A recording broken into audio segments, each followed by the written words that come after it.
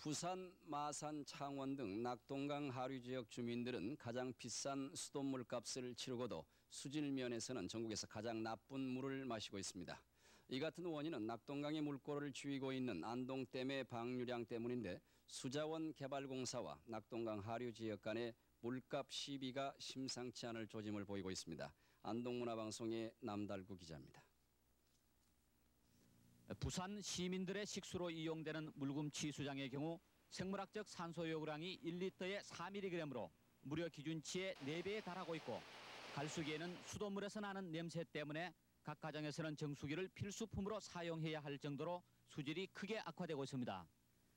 경상북도 달성 농공단지에서 사용되는 공업용수도 BOD가 14mg, 100리터의 대장균이 9만 2천 마리로 공업용수 기준치 상급 수질을 크게 초과하고 있습니다. 이처럼 낙동강의 오염이 심각해지면서 식수는 물론 공업 용수로도 이용할 수 없는 실정에 이르자 부산과 대구 등 하류 지방 자치단체에서는 수자원 공사가 수질오염 방지 대책을 소홀히 한 채 오염된 물을 공급했다며 오염 방지 조항을 들어서 최고 3억 원에 이르는 물값을 지불할 수 없다는 입장입니다.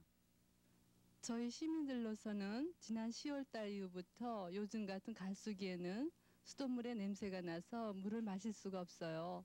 오염 방지 대책을 좀 세워주시던지 수자원공사에서 물값을 내려주시던지 무슨 대책이 좀 있어야 되겠습니다.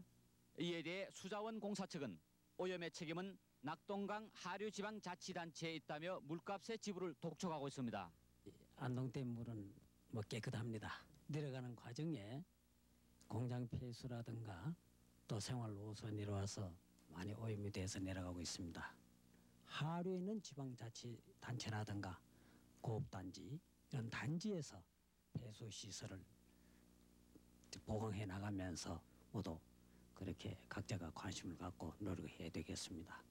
결국 하류 지방자치단체에서는 식수로도 이용할 수 없는 오염된 물값은 더 이상 지불할 수 없다는 입장과 수자원 공사에서는 수도 물값에 하수도 요금까지 얹어서 받은 하류 지방자치단체가 자체 정화 시설 하나 갖추지 않은데 보다 더 큰 책임이 있다고 맞서서 낙동강 수질 오염의 심각성을 다시 한번 일깨워주고 있습니다.